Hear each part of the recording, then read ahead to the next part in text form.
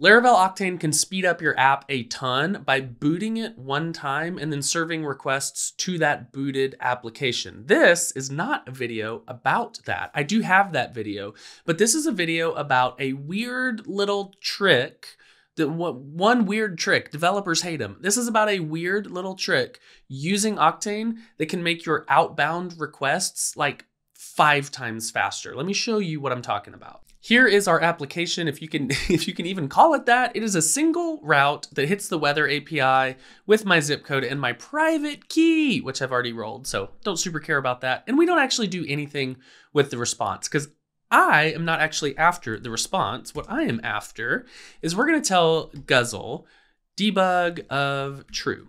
So I want to get a little bit more information from Guzzle about what's happening here. And because this is an Octane application, I'm going to say Octane start and pass the watch flag, which will gracefully reload this app if we make changes.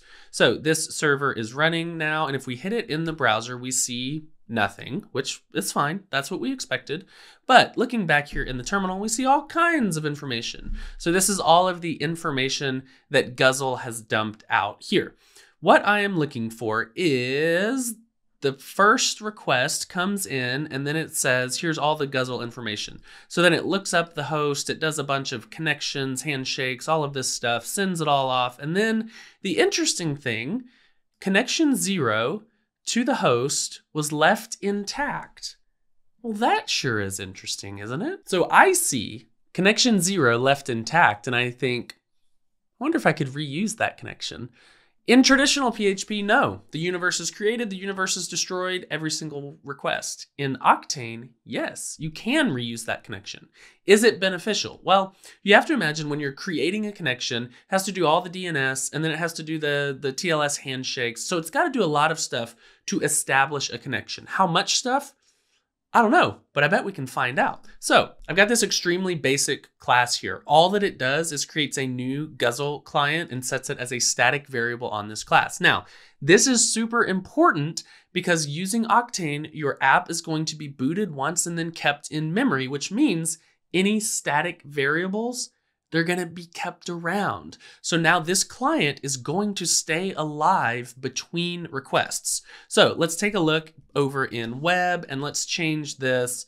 Let's just comment this out and say we want client to equal new API client get client or what is it create client.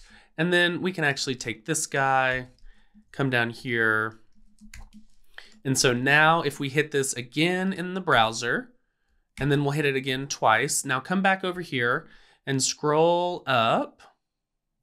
Look at this, reusing existing connection with weatherapi.com. So this is our second request here, and it says, I'm just gonna reuse that existing connection. And so it doesn't have to go through that whole negotiation process. So we know already that Guzzle is reusing that connection, but the question still remains, is it worth it? Did we gain anything? Let's measure it and find out. We are going to use Laravel's benchmark class for that. So we're going to say benchmark measure, and we're going to pass a closure through, and we're going to do this twice.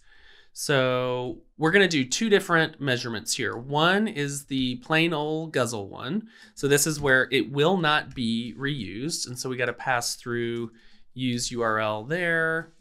And this one we will use our static accessor. So we'll use ours that should be preserved there. We don't need all that information anymore, which means this gets a lot simpler, yada, yada, yada. So we will say um, this is the fresh client, and this is the, what do you want to call this? The cached client. And so we will, uh, yeah, let's just echo fresh was fresh and cached was cached. And let's see if we can see this in the browser.